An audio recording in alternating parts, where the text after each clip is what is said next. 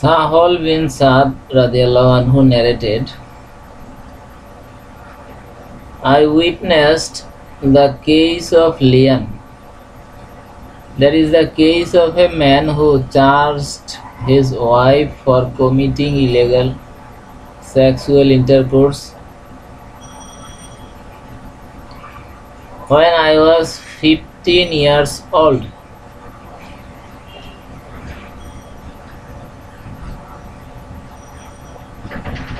the Prophet ﷺ ordered that they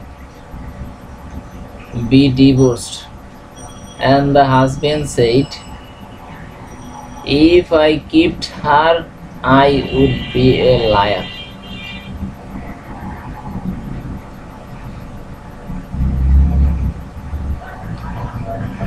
I remember that as Zubair also said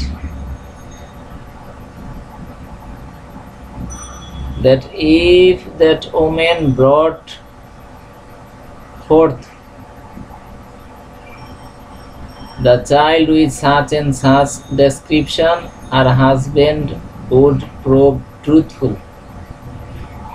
But if she brought it with such and such description looking like a Wahra that means a red insect. He would prove untruthful. I heard azubair also saying finally she gave birth to a child of description which her husband disliked. Which,